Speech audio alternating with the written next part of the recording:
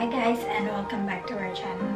For today's video, I'm gonna be showing to you how I clean my brushes. Of course, um, syempre mga available lang na, na panlinis ang gagamitin natin. And gagamitin ko na ang aking brush na nakuha ko sa Very Dice app. So, if you wanna know how I will do this, let's get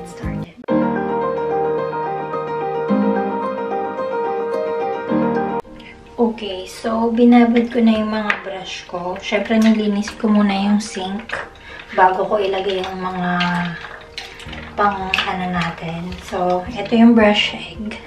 Ang ginagamit ko pag maglilinis ako ng brush, hand soap at itong facial cleanser na CeraVe. So, tara, simulan na natin. Okay. Ang ginagawa ko, one pump ng hand soap at yung ating facial cleanser. Tapos, brush lang natin siyang ganyan. Ayan. Makikita nyo naman siya. So, pag feeling mo, eh, may foundation pa, dagdagan mo ng hand soap.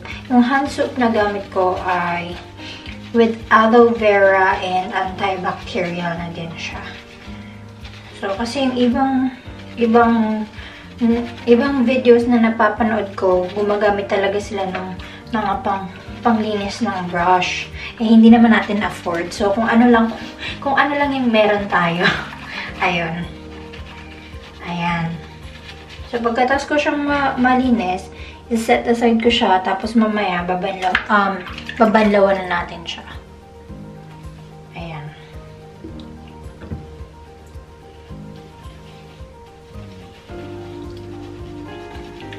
Actually, gumawa ako ng, ano, ng DIY na, br na brush cleaner. Papakita ko sa inyo. Ito yung una ko talagang ginagamit na panglinis. Ayan nilagyan ko lang siya ng glue gun. Kasi wala pa akong panlinis ng brush noon.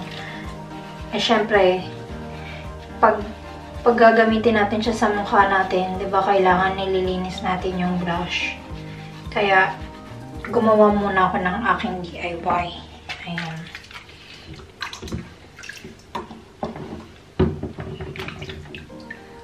Okay din naman siya.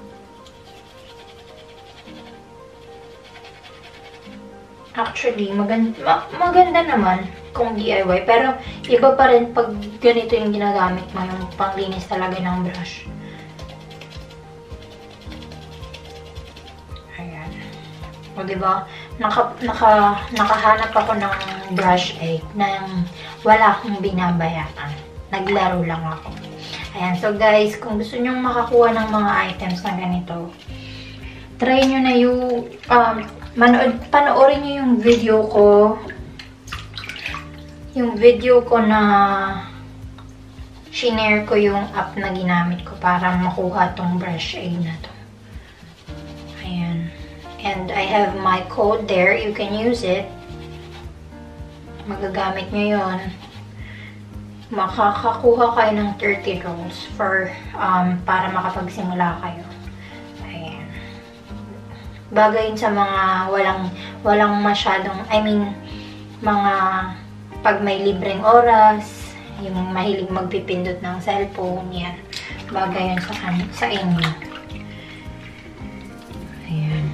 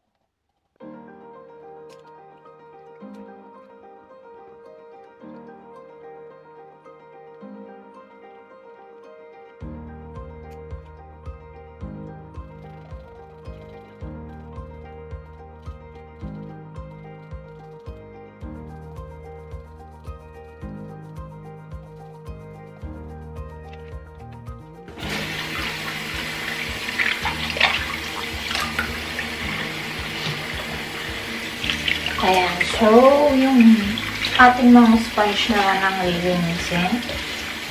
So, sa sponge,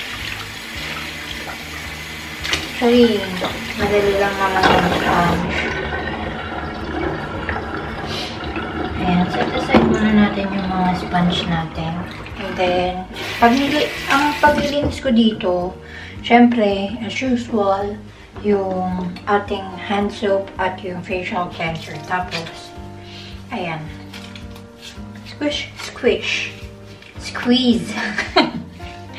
ayan. Diba? Sobrang easy lang naman. Mm. Ayan. Kasi itong sponge na to, ano ko naman ito ginagamit. Sa powder. Ayan. Kung feeling mo malinis na siya, kuha tayo ng face towel. Ganun kasing ginagawa ko. Kuha tayo ng face towel. Ayan, lagay ko siya dyan sa gilid. Para alam kong tapos na siya. And repeat lang natin.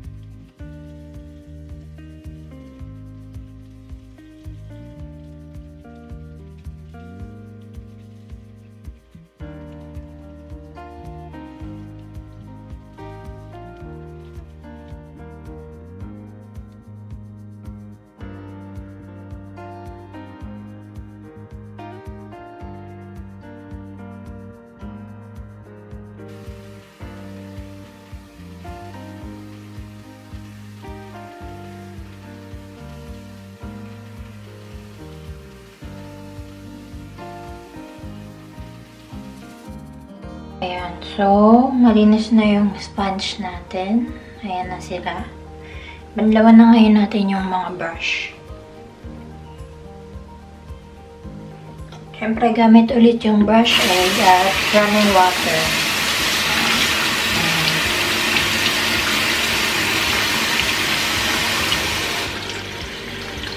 Ayan.